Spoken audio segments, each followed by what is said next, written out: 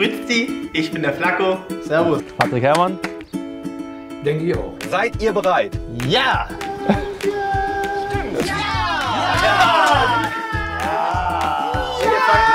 Geil, Jonas! Warum gezeichnet hier? Filet. Rinderfilet. Knapp daneben. Du. Mist, Alter. Ey,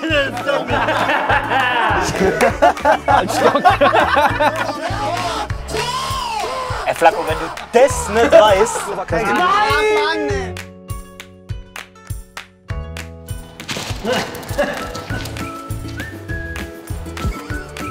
Hört sich gut. Ist das praktisch, Alter. Flaquinho! Geilen Blasen.